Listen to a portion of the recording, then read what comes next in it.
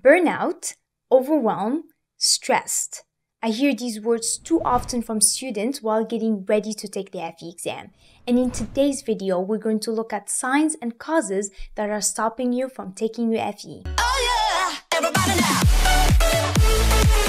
Preparing for the FE is a journey, and sometimes you're gonna find yourself taking on too much and becoming overwhelmed, which often leads to stalling your studies or even worse, failing your FE exam. So let's first take a look at what it might feel like experiencing burnout and overwhelm. Here are some signs to look for procrastinating, unable to concentrate, irritable, trouble starting, feeling guilty or anger, or physical symptoms like unexplained headaches or stomach aches. If any of these sound like what you're going through right now, then it's time to figure out what might be making it worse.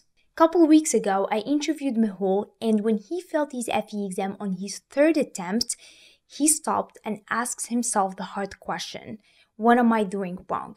And he analyzed everything in his life that was stopping him from passing his FE.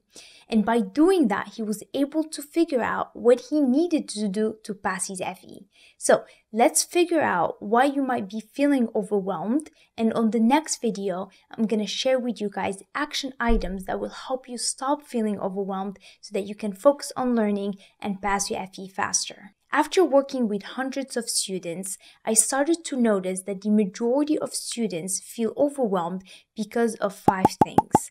The first thing we have is study material. You might have study material that is leaving you feeling stuck.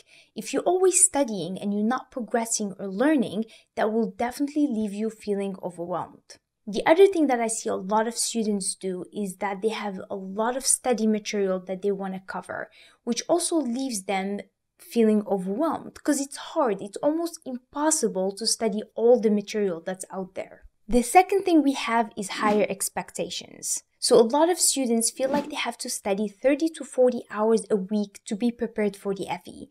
But that's a lot of hours to commit to, especially if you are working full time and have a family. So then because you can't put that many hours a week, you get frustrated and you feel like you're never putting enough hours. And so you never end up celebrating the small successes and then you end up feeling overwhelmed. The other thing is you might want to get it done quick. But the more you rush the process, the longer it will take you to pass your FE. So you have to remind yourself this is not a sprint, this is a marathon. Number three, a lot of commitments. You have committed yourself to a lot of activities, but there isn't enough time to do all of them.